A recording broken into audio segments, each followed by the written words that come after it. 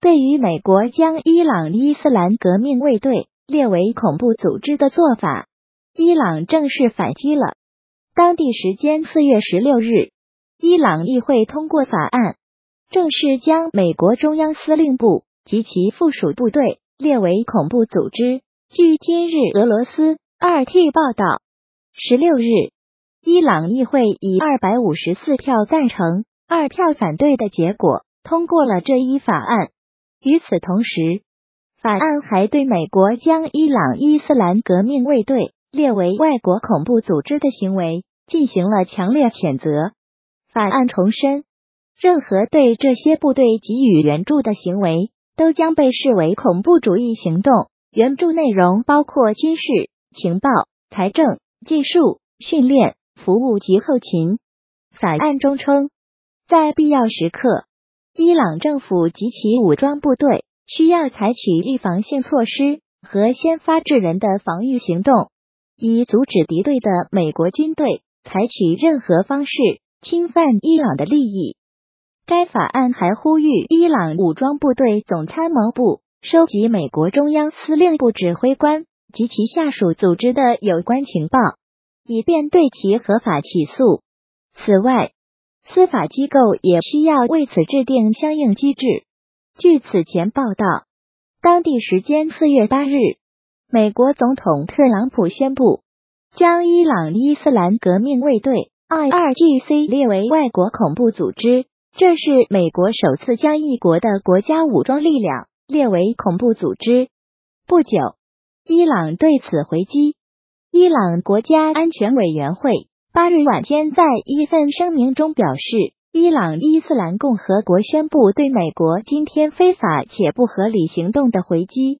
伊朗认定美国是一个支持恐怖分子的组织，中央司令部及其所有附属部队都是恐怖组织。侯嘉欣，新华社喀土穆。四月十一日电，记者马毅冲，苏丹国防部长穆罕默德·艾哈迈德·伊本奥夫十一日在苏丹过渡军事委员会以主席身份举行了宣誓仪式。据苏丹官方电视台报道，穆罕默德·艾哈迈德·伊本奥夫将军以苏丹过渡军事委员会主席的身份举行了宣誓仪式。卡麦勒·阿卜杜勒·马鲁夫马西将军为副主席。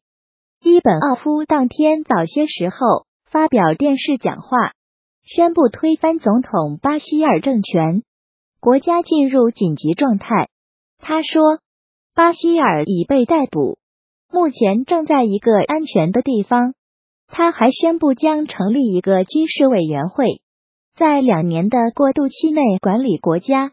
伊朗外交部二日批评英国方面拟把黎巴嫩真主党。列为恐怖组织的决定错误且不负责任。伊朗外交部发言人巴赫拉姆卡西米二日告诉伊朗伊斯兰共和国通讯社记者，在伊方看来，英方所做决定忽视不少黎巴嫩民众的意志，同时忽视黎巴嫩真主党在打击极端主义组织伊斯兰国过程中所起的作用。卡西米说。黎巴嫩真主党在黎巴嫩政府和政治体制中有合法地位。过去数十年，帮助维护黎巴嫩领土完整，打击恐怖主义。伊朗外交部在一份声明中说，将黎巴嫩真主党列为恐怖组织，不利于黎巴嫩的稳定和安全。黎巴嫩真主党上世纪八十年代创建，美国政府自一九九七年起。将它列为恐怖组织。以色列和美国指认伊朗向黎巴嫩真主党输送武器。英国内政大臣赛义德·贾维德二月二十五日证实，英国政府已经向议会提交议案，将黎巴嫩真主党整体列为恐怖组织，不再区别对待他的政治派别和军事派别。议会一旦通过这一议案，黎巴嫩真主党成员。或为他寻求支持的人可能面临最长十年监禁。多家媒体报道，英国政府最新决定可能关联新一届黎巴嫩政府。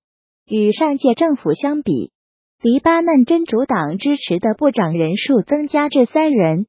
黎巴嫩真主党三月一日说，英国政府准备将他列入恐怖组织黑名单，是对黎巴嫩民众的侮辱。英国外交部同一天声明，针对真主党所做决定不会影响英国与黎巴嫩的关系。郑浩宁，新华社微特稿，环球网军事报道。据俄罗斯卫星新闻通讯社四月九日报道，俄罗斯南部军区当天发布消息称，黑海舰队海军航空兵三十余架飞机和直升机进行了紧急作战演习。演习过程中，飞行员将飞机和直升机紧急撤出假想敌打击范围，然后转移至备用机场。之后，黑海舰队航空兵。开展了近距离和远距离空战训练，并完成伪装训练任务。消息称，超过三十架飞行器参加演习，其中包括苏二十四 MP 侦察机、苏二十四 M 前线轰炸机、苏三十 SM 多功能战机、安富二十六运输机、别富十二反潜机、米富八直升机和卡富二十七直升机。此次演习是计划中的冬季演习期检验性演习。俄罗斯卫星通讯社四月一日报道，美国常驻北大西洋公约组织代表凯贝利·哈奇森对媒体表示，北约成员国计划在华盛顿会谈期间讨论有关扩大在黑海地区存在的问题。他说：“毫无疑问，我们将讨论如何确保黑海地区的安全。”以及如何在这一地区采取更多行动和进行更多监督。黑海将会出现更多来自北约国家的舰艇。他指出，上述计划源自俄罗斯的侵略以及克里米亚军事化。俄罗斯外交部此前表示，北约的行为正在使黑海地区军事化。莫斯科也曾多次对北约在欧洲扩充力量表示过担忧。二零一八年十一月二十五日，三艘乌克兰海军舰艇侵犯俄罗斯国界，驶入临时封闭的海域，并从黑海向克赤海峡方向行驶。这些船只实施了危险机动，且没有服从俄方发出立即停船的合法要求。三艘舰艇被俄方扣留，船上的二十四人先后被俄法院批准逮捕。其中两人是协调了这起挑衅事件的乌克兰国家安全局员工。克里姆林宫指出，俄方在这起外国军用舰船入侵俄领海事件中的反应符合国际法和俄罗斯法律。据俄罗斯联邦安全局消息，在其中一艘炮艇“尼科波尔号”上找到的文件显示，该舰艇编队的任务。是从敖德萨隐蔽抵达别尔江斯克。环球网军事十二月二十四日报道，俄罗斯卫星通讯社十二月二十四日报道，以色列国防军新闻处发布消息，以军向一伙在叙利亚政府控制的戈兰高地非军事化区内发现的武装人员开火，以方无人员伤亡，尚未收到对方是否有损失的信息。该消息称，以色列国防军发现一伙武装人员越过了戈兰高地叙利亚边境障碍附近以色列方向的阿尔法线。作为回应，以军对其方向开火。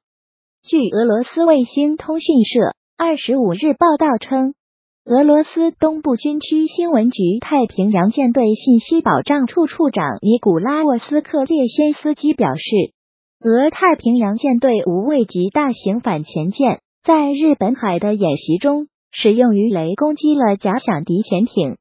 报道称，太平洋舰队下属地滨海区舰队派出特里布茨海军上将号和维诺格拉多夫海军上将号两艘大型反潜舰，组成舰艇突击搜索群参加了演习。沃斯克列先斯基表示，在海上靶场。俄军大型反潜舰与舰队海军航空兵反潜机完善了反潜艇战术群的空海协同行动，在搜索假想敌潜艇科目中，还动用了从大型反潜舰上起飞的三架卡负二十七 PL 反潜直升机。他说，舰员们利用直升机机载声呐，发现假想敌潜艇后，战术群舰艇协同发射鱼雷，对其予以打击。之后又用火箭式深水炸弹实施攻击。以叙利亚库尔德人为主的非政府武装，三月一日晚恢复进攻极端主义组织伊斯兰国最后据点，预料一周至数周内结束战斗。